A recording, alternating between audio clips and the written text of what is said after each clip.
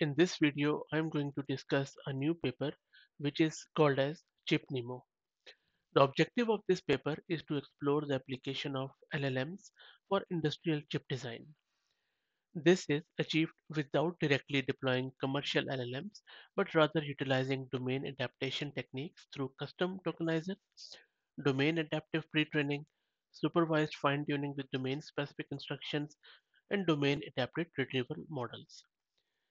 NVIDIA's approach in developing ChipNeMo involved using Llama 2 as a foundational LLM, supplemented by domain-specific pre-training on proprietary and public chip design data. This was then followed by supervised fine-tuning or SFT using general data sources like OASST, FLAN, P3 and specialized instruction data, resulting in 7 billion and 13 billion models. Moreover, a domain-specific tokenizer and retrieval augmented generation were implemented to reduce inaccuracies and enhance the relevance of the model's output. The main issue which models face these days in this regard is that typical LLMs are not well suited for specialized tasks like chip design. More often than not, they produce irrelevant or inaccurate information, and integrating proprietary data into these models is really challenging, even with RAG. This mismatch limits their usefulness in fields that require high precision like semiconductor design. If you go into their paper, you will see that on various benchmarks, this ChipNeMo 7 billion and 13 billion have performed really well.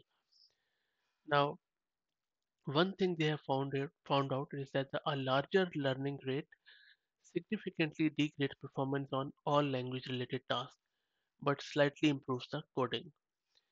So there are a lot of other things when they have done this result. For example, uh, as a result, Chip, ChipNeMo is currently used with NVIDIA for tasks like EDA script generation, engineering assistance through chatbots, and bug analysis. The results also clearly demonstrates that superior performance in chip design tasks compared to the baseline Llama models. So it's a really good sort of custom approach, the ChipNeMo I mean, in applying AI to semiconductor design, offering improved productivity and decision-making accuracy in this highly specialized field. I'll drop the link to this paper in video's description so that if you're interested in uh, seeing how exactly this ChipNeMo works for chip design by using generative AI, then you could follow along. And hats off to all of these researchers, a really wonderful work, I would say. So that's it guys. I hope that you enjoyed it. If you have any questions, please put it in the comments. And if you like the content, please consider subscribing to the channel. Thank you very much.